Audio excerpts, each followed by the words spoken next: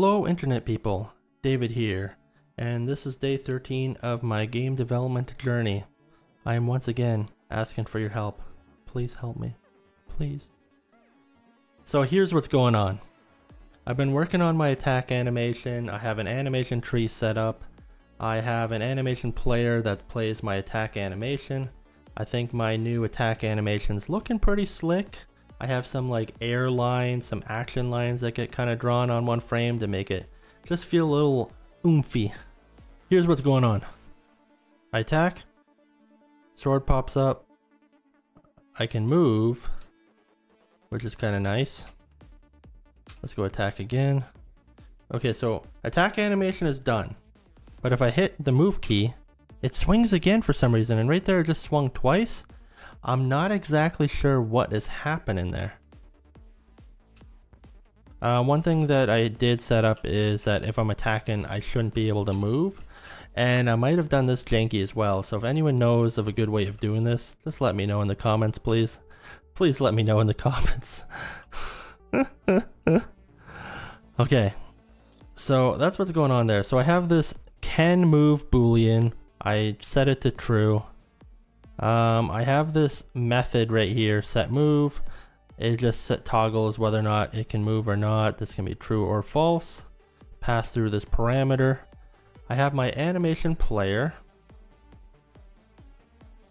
somewhere. And down here I have functions. I'm calling the method set move to false at the beginning of my attack animation. And somewhere close to the end, I allow set move to be true.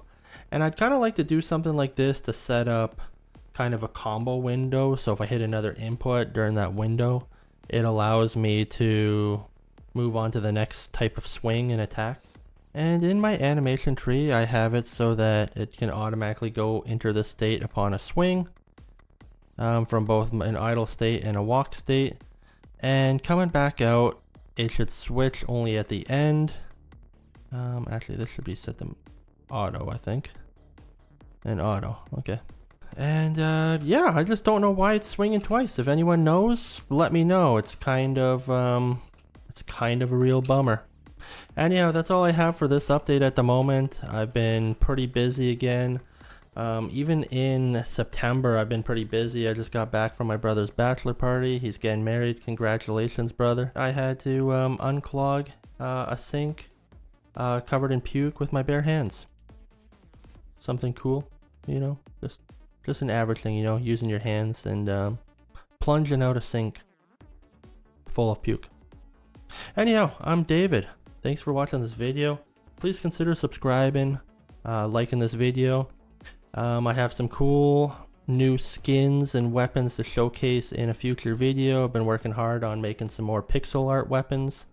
Got a fire sword, an ice sword, as well as an axe, as well as kind of like a, I don't know what I want to call it, kind of like a, a bloody axe that I think a specific boss I have in mind is going to use.